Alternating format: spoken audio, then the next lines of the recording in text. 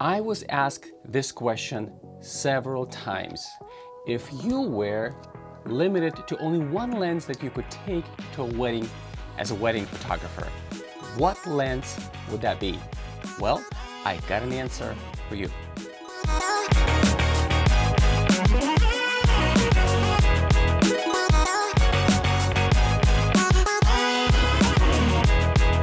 Hi guys, this is Vitaly with Touch Life Studio. This is the place where we talk weddings, photography, portraiture, camera, gear, and more. If you were recently got into weddings and portrait photography and you are in pursuit of ultimate image quality, you might have heard of the trinity of lenses such as wide angle lens 14 to 24 millimeters, standard zoom lens 24 to 70 millimeters, and a telephoto zoom 70 to 200, and all of them are at f2.8. While all of these three lenses are used frequently, the 24 to 70 f2.8 is by far the most used lens in the lineup. This is the industry standard and for a number of reasons. The most obvious reason is because this lens covers the sweet spot of the zoom ranges of the most frequently used focal length by wedding and portrait photographers at a fast f2.8 constant aperture. Let me go over the important aspects of this lens and what makes this lens the most versatile or versatile and the number one selling lens among the wedding and portrait photographers. Widest aperture. The widest aperture of this lens is f2.8, which is one and one third stop away from f1.8.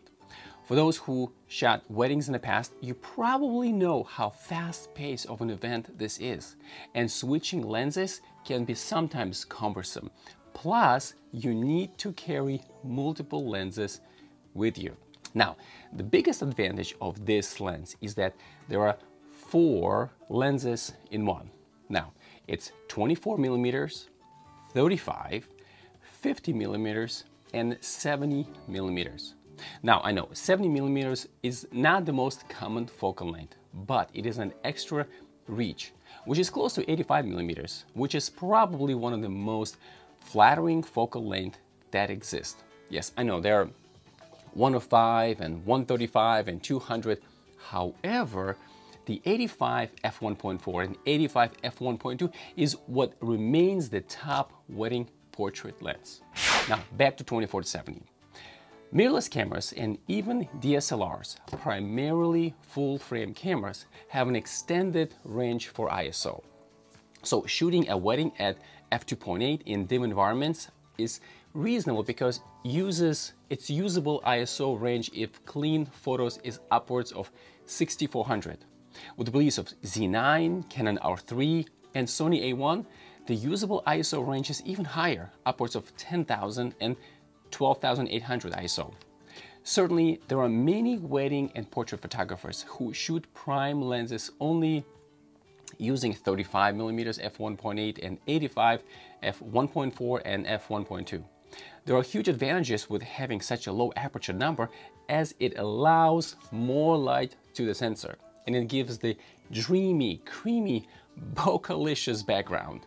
But please make no mistake, just because these low aperture lenses blur background, there's a lot more to a great photograph, such as scene, composition, lighting, and expressions.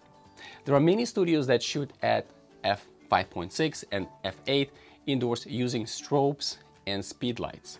Some new photographers assume that having a low aperture lens, or some may refer as a fast lens, will make their photography amazing and will take them to a different level.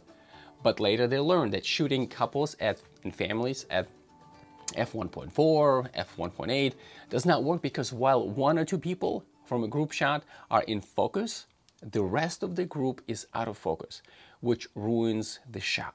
They raise their f-stop on the prime lenses from f1.8 to f4 and f5.6 and now they spend 800 and 1500 on just one prime lens just to shoot at f4 and f5.6. Don't get me wrong, there is an absolute place and time for prime lenses, and I shoot with prime lenses myself, but I'm a lot more strategic when I use prime lenses, and I usually know the look that I might be after and what environmental conditions warrant the low f-stop of f1.8 and f1.4. Now, several camera manufacturers produce 24 to 70 f2.8. Nikon, Canon, Sony, these are the major full-frame camera manufacturers. Although some people would argue that Sony is a consumer electronics company and not the real camera imaging company.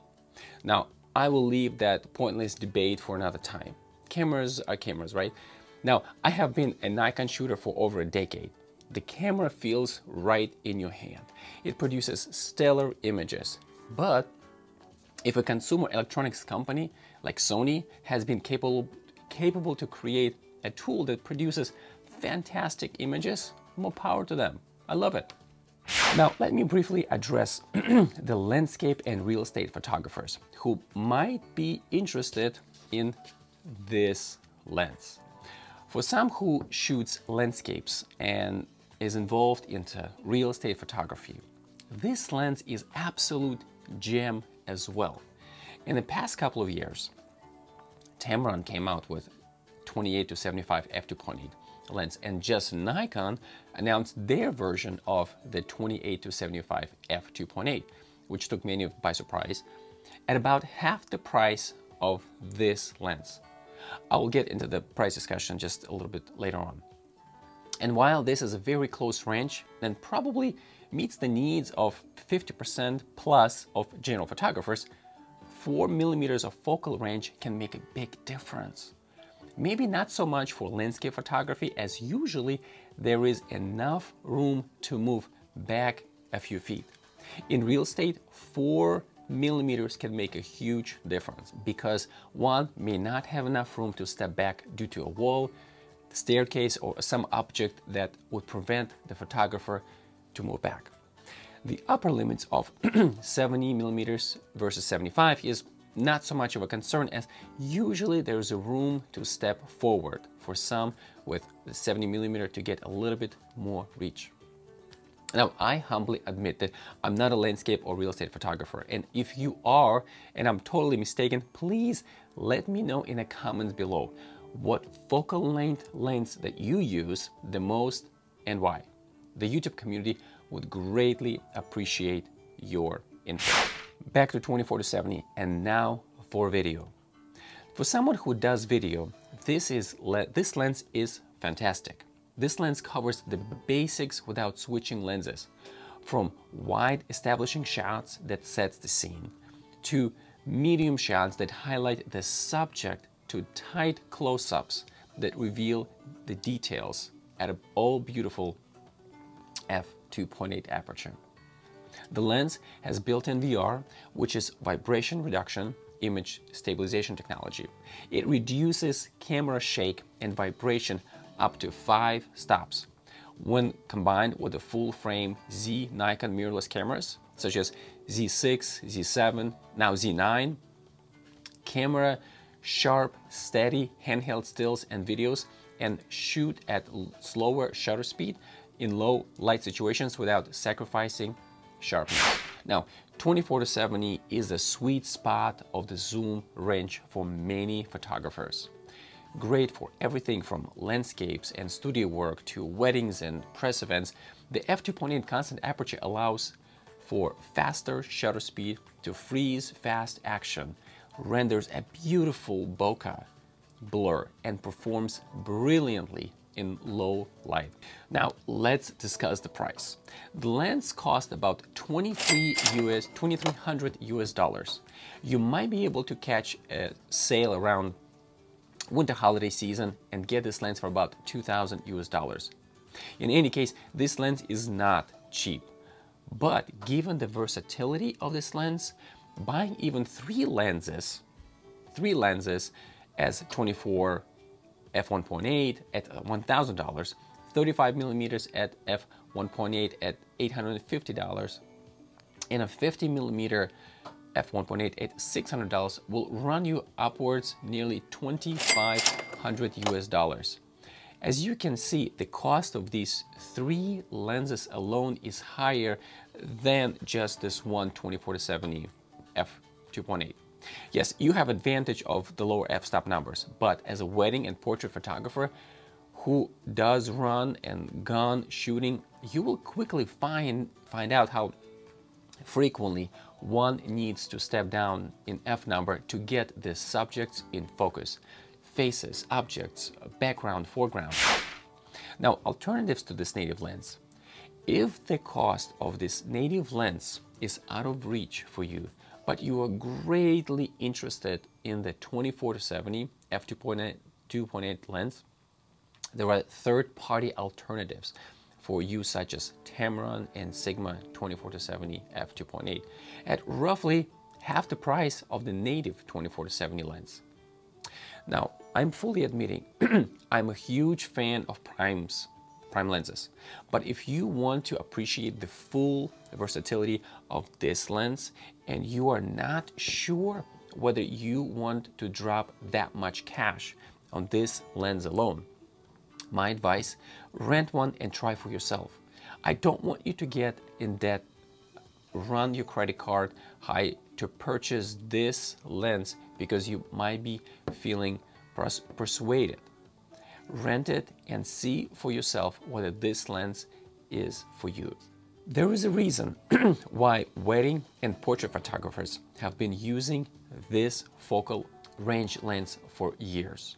Versatility and image quality is the name of the game. For those who have been using this lens for a while, please share in the comments below and let me know your experience using this lens. So, to answer the initially stated question, if you were limited to only one lens that you could take to a wedding as a wedding photographer, what lens would that be? Well, the answer is 24 to 70 millimeter f2.8. With just the prime lenses such as 35 f1.8 and you would miss on medium shots and close-up shots. With just 50mm f1.8, one would miss on establishing shots and close-up shots. And with just 85mm f1.8, one would miss on establishing shots and medium shots. As you can see, for many wedding photographers, 24 to 70 lens covers all of those bases and therefore is a go-to lens. If you found this content informative and entertaining, I would love to know whether you like it by hitting the like button below. And consider subscribing if this is something that you are into, which will tell me that you like the video so that I can make more content like this for viewers like you. Thank you.